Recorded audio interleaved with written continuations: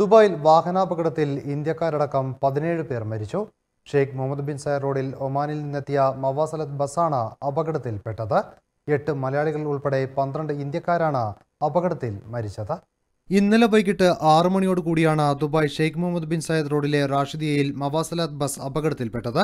നിയന്ത്രണം വിട്ട bus sign ബോർഡിലേക്ക് ഇടിച്ചു കയറുകയായിരുന്നു.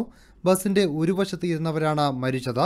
മസ്കത്തിൽ നിന്നും ദുബായിലേക്ക് ഷട്ടിൽ സർവീസ് നടത്തുന്ന മവാസലാത്ത് ബസ്സാണ് അപകടത്തിൽപ്പെട്ടത്. അപകടത്തിൽ പന്ത്രണ്ട് ഇന്ത്യക്കാർ ഉൾപ്പെടെ പതിനേഴ് പേരാണ് മരിച്ചത്. മരിച്ചവരിൽ എട്ട് പേർ മലയാളികളാണെന്നാണ് വിവരം. അഞ്ചു പേർ ഗുരുതര പരിക്കുകളോടെ ചികിത്സയിലാണ്.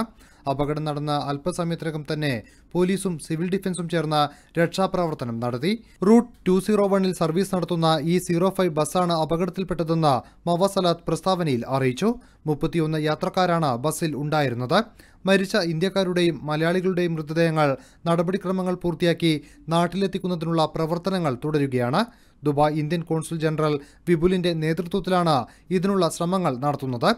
അതേസമയം അപകടത്തെ തുടർന്ന് ദുബായിലേക്ക് നടത്തുന്ന ഇന്നത്തെ സർവീസുകൾ നിർത്തിവെച്ചതായി മവസലാത്ത് അറിയിച്ചു. എങ്ങനെയാണ് ബസ് അപകടത്തിൽപ്പെട്ടതെന്ന് പോലീസും ആർ ടി ഐയും പരിശോധിച്ചു വരികയാണ്. N T V Dubai. ജനങ്ങൾക്കൊപ്പം വാർത്തയ്ക്കൊപ്പം നന്മയോടൊപ്പം. N T V U A to the world.